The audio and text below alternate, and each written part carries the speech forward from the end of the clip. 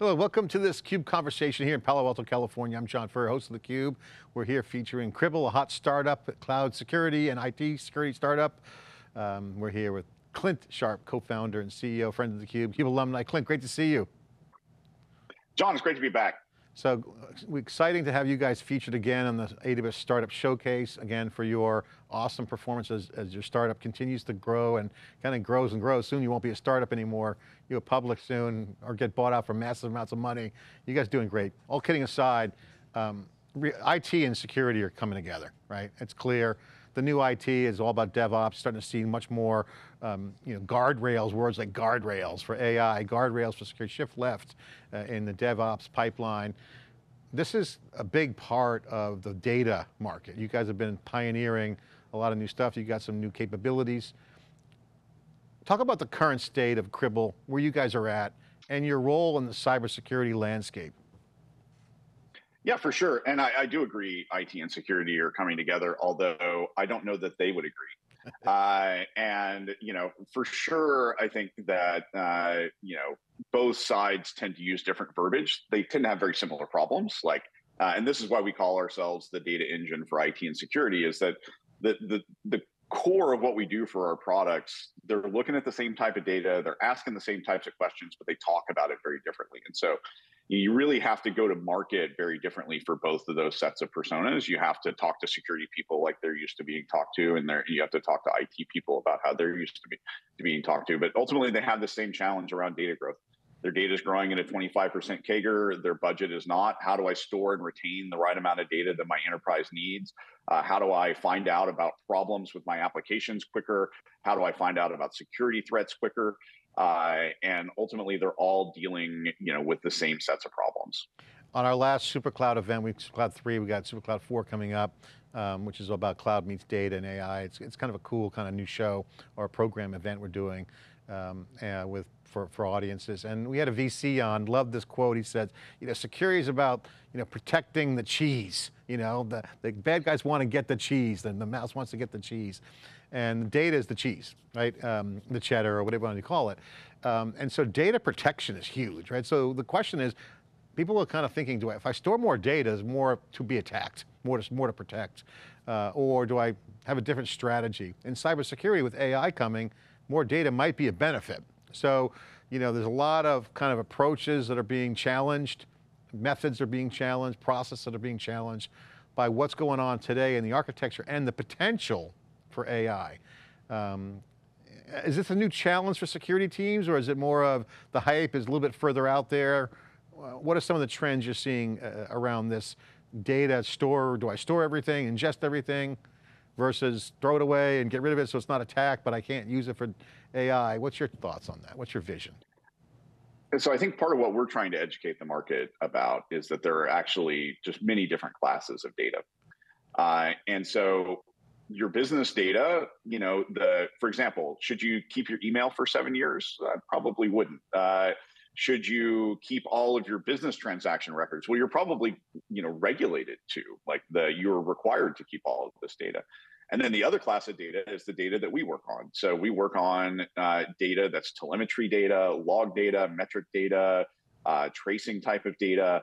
Uh, and that is uh, in a wholly different, very large class of data, very diverse data.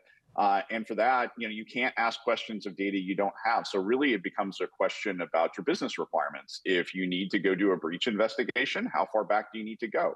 If you want to understand your application performance, how much, you know, how much data do you want to be able to see how the application was running a year ago? If so, then you you probably need some amount of data that you're retaining, maybe not the full fidelity.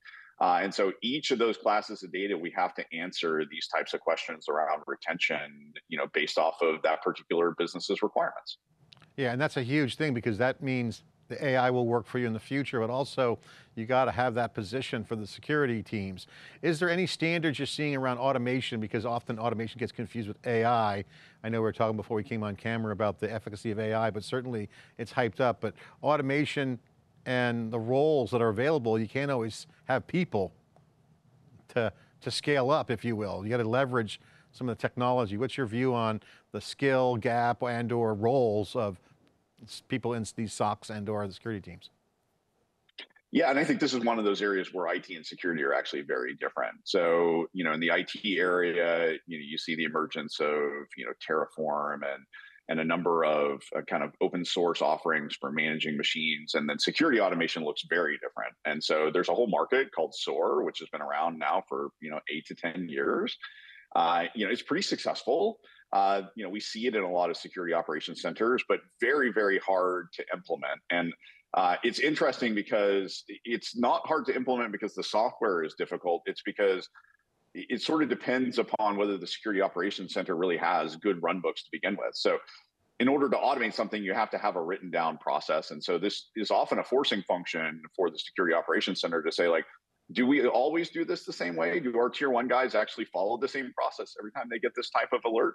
Uh, and you know, I don't know that AI solves that either, right? If you if you don't know how to you know go troubleshoot this particular security threat, you know ai may be able to help you based off of what they've trained their models on but you know ultimately uh, we have to you know humans are at the start. We the human has to know what to go do and then we can figure out how to go make that run faster. Yeah i think the human piece is huge. Good point. Let's talk about interoperability and collaboration. Um, you guys are in the middle of a great conversation all the time around security teams dealing with multiple vendors how do things interoperate how do teams collaborate kind of in that spirit of work and also multi-vendor, you know, you got a lot of telemetry tools out there and platforms.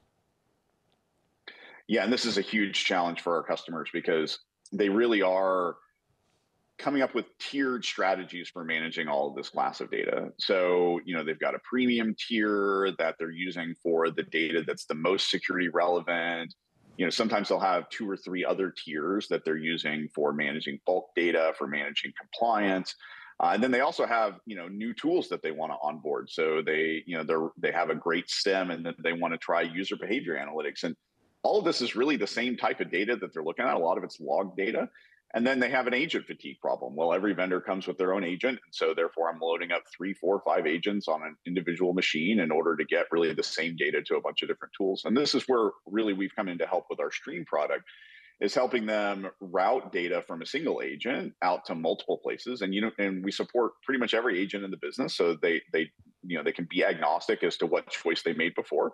Uh, and then they can enable this tiered strategy. They can send data to a data lake. They can send data to a logging engine.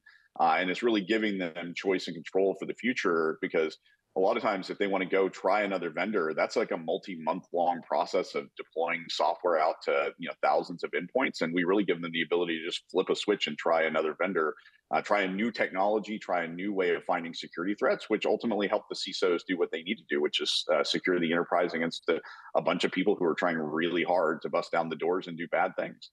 Clint talk about your business your business model um, your customers, how are they using you? Why, why, are they buying you guys? Why are they using your, your, your stuff? What's, what's the, take us through a little quick of the business.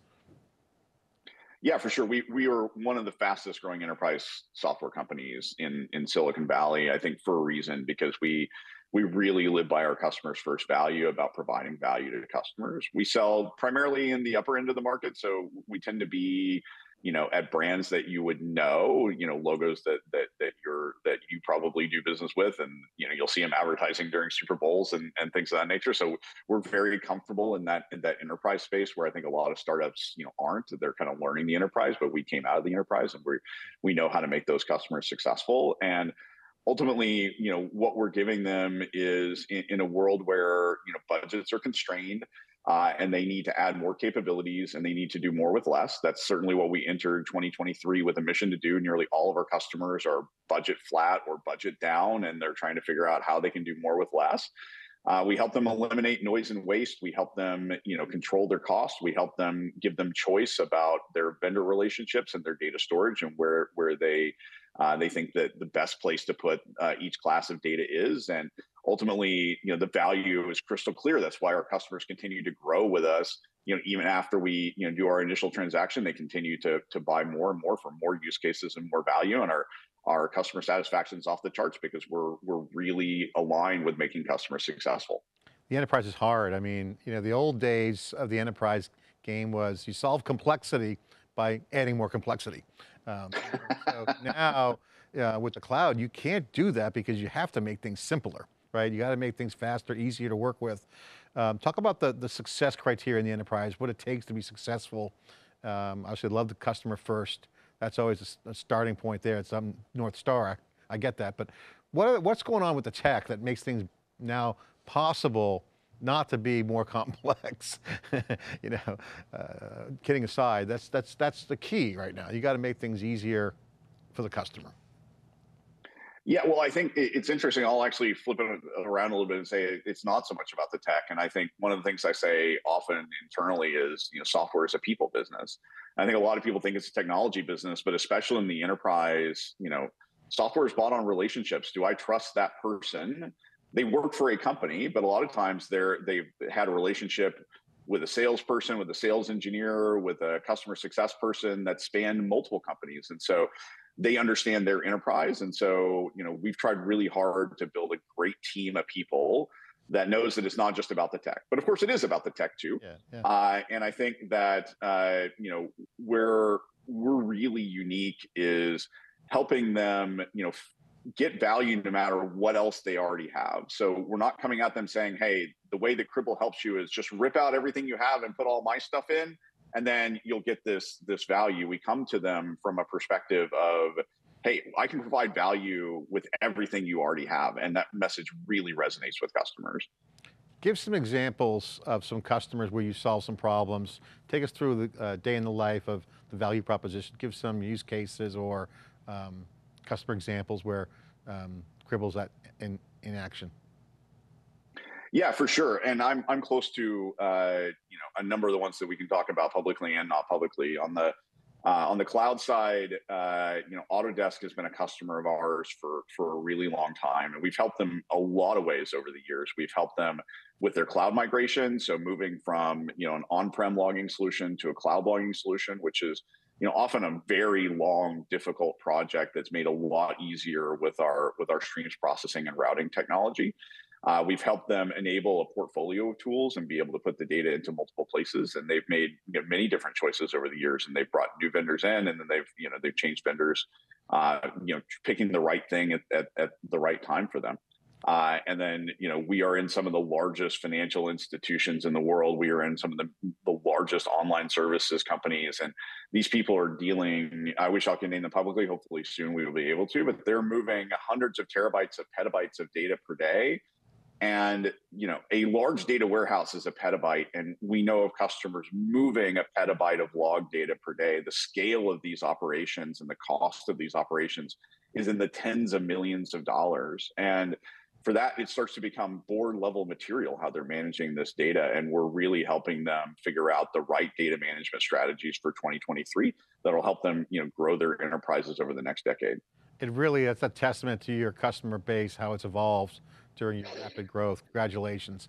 Uh, Clint, great to have you on. The final couple minutes we have left, what's next? Where do you see the industry heading? As CEO, you got, you're the captain of the ship, you got a great team, um, got some key trends happening, you got a relationship with Amazon Web Services, but cyber is changing again. more data, more tax, less budget, uh, do more with less, enterprise is hard, large scale is hard, large scale data is hard. What do you see the industry going next? What's your vision of the major trends emerging?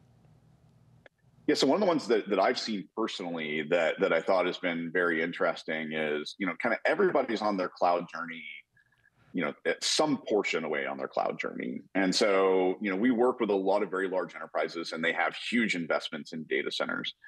Uh, but even the most staunchly on-prem organizations that we've worked with are starting to come to the cloud for some portions of their workload. Uh, and I think that's really interesting because just in the last couple of years, it was people who, you know, three years ago when I'd meet with them, they'd be like, no way, we're never going cloud to now, you know what, we we we're moving some applications there. We're starting to do some work. And I think for us, because we're very specifically really in the logging industry, a lot of the the the first workload they're moving is logs. It's huge volume. It's very expensive for them to store. And so they're utilizing things like AWS Security Data Lake or just in general S3 storage and cheap storage that's sitting in the cloud to go move petabytes of data as some of their first use cases. And so I, I, think that's really interesting. It's just it's been a pattern that I've emerged or that I've I've intuited sort of from talking to a bunch of very large enterprises that you know I think I think we're very early still in the cloud journey, and I think there's a lot more to go, and it's and it's really starting to happen, you know, much faster than I was expecting. It's so awesome to see that custodial or storage mindset go to value, right? I mean, you you got you've been in this for years. This has been a big data dream. Logs, there's a lot of value in there, um, a lot of important data. Huge. For sure, and you know, for the enterprise, understanding you know John's experience with the application, understanding whether there are malicious actors coming after them. This class of data super super important for IT and security teams in order to meet their missions. And so, uh, figuring out how to store it cost effectively is kind of the biggest challenge that they're facing, and we're happy to be helping them with that. I love the new architecture. Love what you guys are doing. Clint, thanks for coming back on theCUBE. Really appreciate the update. Clint Sharp, co-founder and CEO of Cribl, fast growing startup in a great position. Thanks for coming on and have a great day. Thanks, John. Okay, I'm John Furrier in theCUBE. This CUBE conversation with the hot startups, the newsmakers, the leaders in the industry.